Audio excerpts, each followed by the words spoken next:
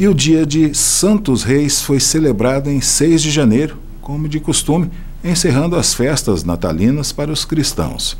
Mas neste domingo ainda houve a tradicional missa com a participação das companhias de reis de Varginha, que infelizmente não puderam sair às ruas nos meses de dezembro e janeiro. O encontro das folias representa um momento de fé e confraternização. Encerramento do sétimo encontro anual das Folias de Reis aconteceu com a tradicional missa na Igreja Matriz. Devido à pandemia, as companhias não puderam desfilar pelas ruas da cidade e, para manter a tradição e renovar a fé, contaram com as transmissões online. Esse ano para nós foi muito triste, né? Que nós costumávamos sair todo ano. Nós ficamos muito chocados dentro de casa, porque por causa da doença nós não pôde sair. Que não tinha jeito também, tem que aguardar, porque a doença é muito perigosa. Né? Nós pedimos em primeiro lugar a Deus, Nossa Senhora, que nos abençoe a todos, em nome dos três reis coroados, para que essa epidemia aí, pandemia aí, se dê um ponto final, para que no final do ano nós estamos preparados para fazer a viagem e seguir os caminhos dos três reis na visita do menino Deus lá em Belém, né? Se Deus quiser, assim como todas as companhias. Mas Deus é maior, Deus é o rei, é o pai, ele vai providenciar para nós que essa epidemia aí chegue a um final, não é?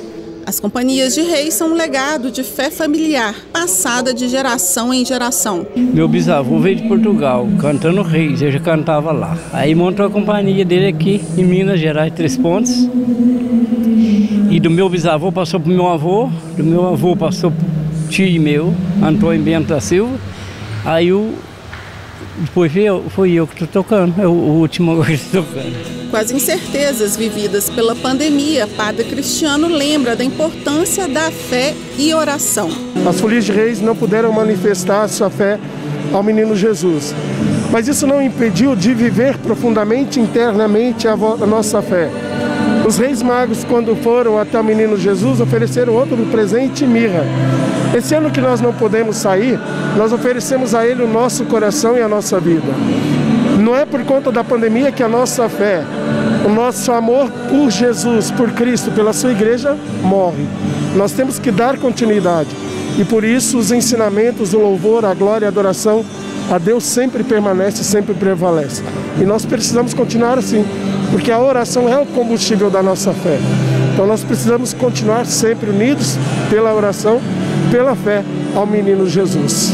Autoridades presentes ressaltaram a importância das companhias para a cidade. Esse ano não podemos fazer, trazer alegria para as ruas, para as casas, mas as lives foram muito bem feitas, gravadas no Capitólio e apresentaram as plataformas nossas da, do, do Facebook, do YouTube. Tivemos mais de 20 mil visualizações. Foi muito boa a apresentação e as, as companhias foram maravilhosas nas suas apresentações. Estaremos sempre apoiando as Folias de Reis, a Companhia de Reis, através da Prefeitura e a Fundação Cultural de Varginha. Este ano nós tivemos aí o encontro, o sétimo encontro de Folias de Reis virtual, através das plataformas do YouTube e do Varginha Cultural e de toda a imprensa que deu total apoio ao encontro. Tivemos que fazer de forma diferente, mas realmente alcançou o êxito que a gente é, estava esperando.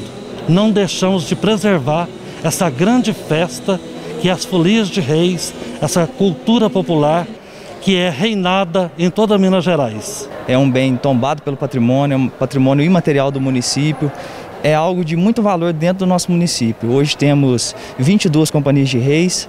Eu, enquanto diretor do museu, participei do quinto e sexto encontro das companhias de reis e esse ano o sétimo encontro. Então, para nós é muito gratificante. O que a Câmara puder fazer para ajudar, para difundir, divulgar ainda mais esse trabalho, nós faremos. Também presentes no encerramento, o prefeito e vice-prefeito destacaram o apoio da administração municipal a essa manifestação de cultura e fé. Gostaria inicialmente de cumprimentar a todos e dizer que eu quero aqui parabenizar a, a, a Fundação Cultural, a todos aqueles que contribuíram para que esse evento ainda acontecesse, em, em, em, que pese toda a pandemia que estamos atravessando. Nós estivemos presentes nas lives que foram realizadas de todas as companhias e vimos que todos eles continuam com aquele entusiasmo. Infelizmente não puderam se apresentar como gostariam, mas levar, trouxeram a sua mensagem. E a gente aqui quer registrar o nosso reconhecimento a essas pessoas a esses que integram essas companhias, que são eles realmente os protagonistas dessa celebração tão importante na nossa cultura. Infelizmente, as folias não puderam ter a oportunidade de visitar as famílias, né, de levar a mensagem uh, de Jesus. Né?